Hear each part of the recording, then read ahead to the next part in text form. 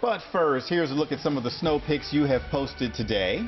Look at this, the melting ice on the reservoir. Isn't It's that pretty, cool? really is. And this is quite a bit of snow actually in someone's backyard piling up on the cars. I like the word clobbered. Mm-hmm. if you want a chance to be on TV, just share your photos with us using the hashtag #BeOnWJZ.